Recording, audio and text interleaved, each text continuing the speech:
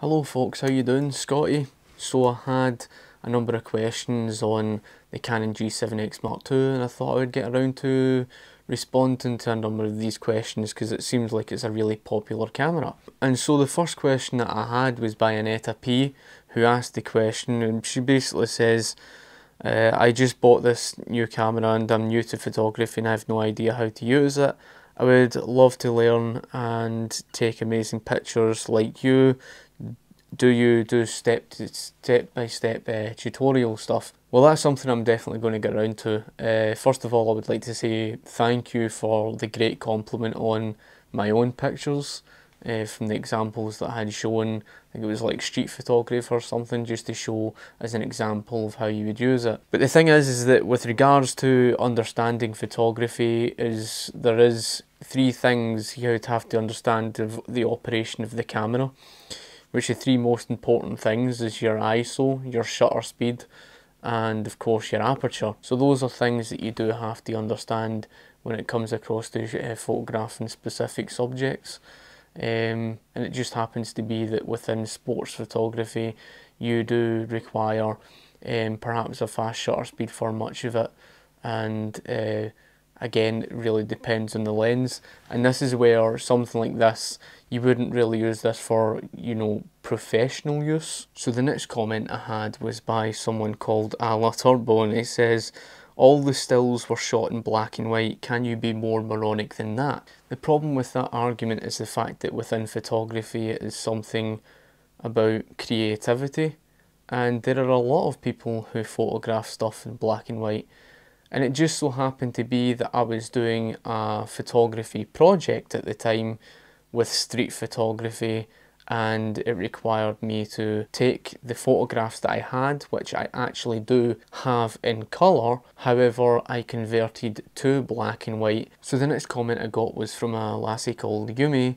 who says, why does it seem like the video footage of the people uh, were in slow motion. The reason why I put the, the video more or less in slow motion of the people was basically just for my own creative effect. You don't have to, there's no set of rules saying you have to do this specific thing. Sometimes you could mix it up. It's really all about how you express yourself and, and show things creatively in video and I've seen some people's fantastic work. Um, it's nice to mix things up and you'll probably find that from certain videos that I have done in the past and, and do and uh, because part and parcel of photography you get a lot of video as well now. And one of the things that you're kind of taught is that is this sort of three to five second rule where um, instead of boring people you show um, three to five seconds of one clip and it sn snips to another and it keeps people um, you know intrigued of what's coming next and that's something that's all part and parcel of uh, what you see from uh, video creators. I think Casey Neistat's the perfect example of just that. He shows things that uh, is a very creative mindset, and um, whether it's going from slow to fast to, you know, changing of the angles and everything, and, and that's something that really captures the eye. So the next comment I got was from Andreas Thompson, who is from Denmark, who was saying about um, I'm looking for a camera. It's stepped up from the iPhone 7. He says, I'm going to California with my girlfriend, so looking for something for vacation and when I'm on trip. Could this be a camera that's a great bet for me? And yeah, I would say that because at the end of the day, the DSLR cameras, whether a crop sensor or full frame camera, it's a lot more expensive. Really, when it comes to a DSLR, such as a crop sensor body, uh, someone would get that if they're going into studying and, and starting off in photography and it's the cheapest bet. And I still use my crop sensor, but this is the thing, I mean, you would pay a lot of money for these type of cameras uh, and the lenses and um, it's one of these things that um, for something that's small and compact and, and so versatile as the G7X Mark II, this is fantastic for someone who's just going out taking pictures and is going on holiday and it's on the go. It does have its limits, such as for example the aperture at the narrowest end uh, only shuts down to f11 um, and the widest aperture being f1.8, but f1.8 is still, you know, really good for um, photographing uh, portraiture. And again, this is something I'll go into and explain about the, the aperture and things like that. I, again, one of the negatives I would say is the ISO. Um, once you reach about 800 ISO, usually you would use that for something indoors or something, but usually when you reach about 800 ISO, uh, you start to see a lot more grain noise. But again, you only get what you pay for.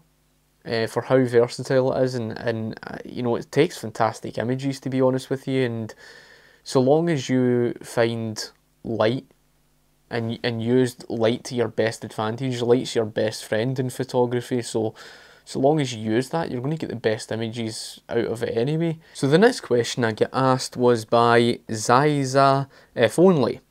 And the person asked, Hi Scott, I'm thinking to get this camera on hand primarily for Instagram pictures and taking uh, photos of my models with the makeup I've done.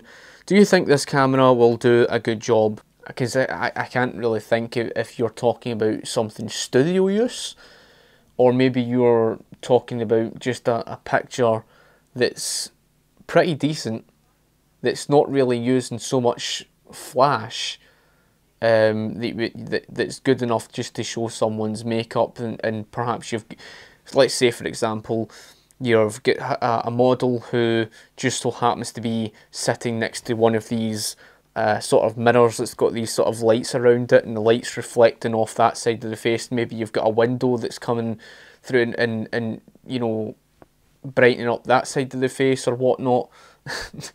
All of these things uh, you have to take into consideration.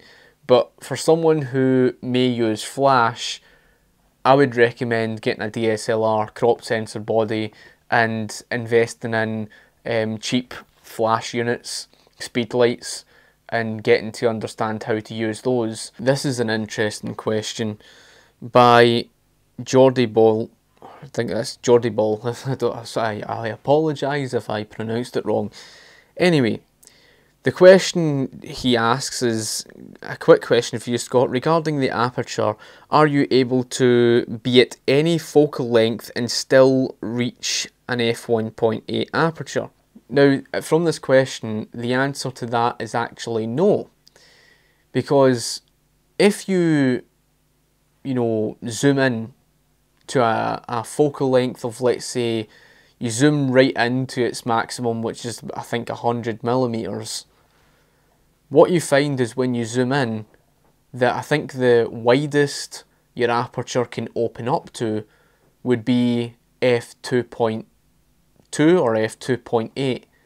I can't quite remember, but I know that your aperture, your widest aperture when you zoom in is less than what it would be at f1.8.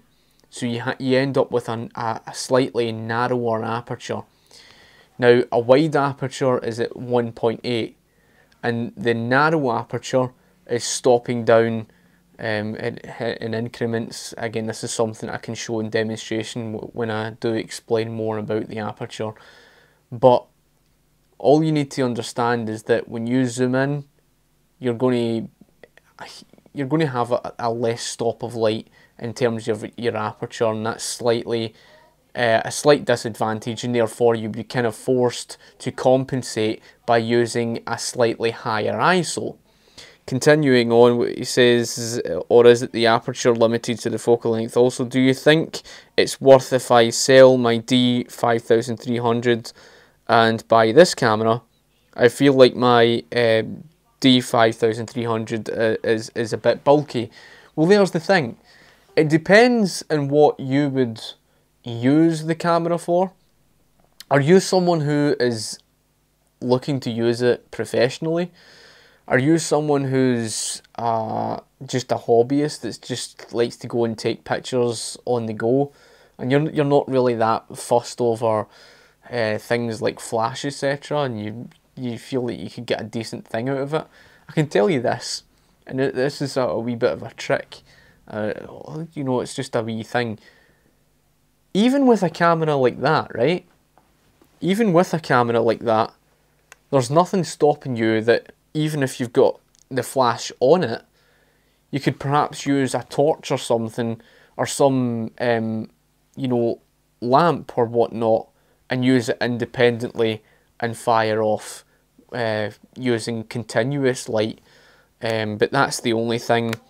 Um, there is this, the this slight disadvantage with a camera like that. So it depends. I mean, if you're really bothered about the fact that it's bulky, then of course you might favour something like that.